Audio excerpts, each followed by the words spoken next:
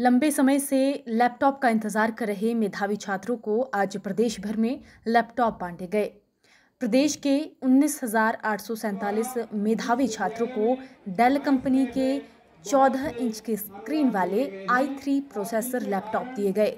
Laptop की कीमत इकतालीस हज़ार पाँच सौ पचास रुपये है, जिसमें माइक्रोसॉफ्ट की विंडो 10 इंस्टॉल है। और लैपटॉप की बैटरी समेत वारंटी तीन वर्ष की होगी। ये लैपटॉप शैक्षणिक सत्र 2018-19 और 2019-20 के छात्रों को दिए गए।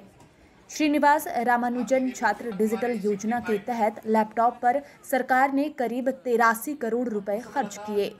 मंडी में आयोजित कार्यक्रम के दौरान मुख्यमंत्री जयराम ठाकुर ने विभिन्न जिलों के मेधावी छात्रों के साथ वर्चुअली बातचीत भी की। ये कार्यक्रम प्रदेश की कुल 55 जगहों पर आयोजित किया गया। जिला बिलासपुर की बात करें तो यहाँ पर राजकीय वरिष्ठ माध्यमिक छात्र पाठशाला घुमारवी और राजकीय वरिष्ठ माध्यमिक पाठशाला छात्रा बिलासपुर में लैपटॉप दिए गए। घुमारवी स्कूल में आयोजित कार्यक्रम में खाद्य एवं आपूर्ति मंत्री राजेंद्र गर्ग ने बतौर मुख्य अतिथि शिरकत की और सभी होनहार विद्यार्थियों को बधाई दी।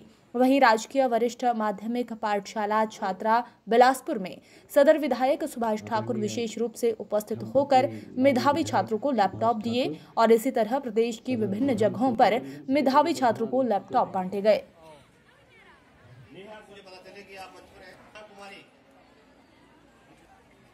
इसके बाद अंजलि आपके लिए भी होगा तुम्हारे 65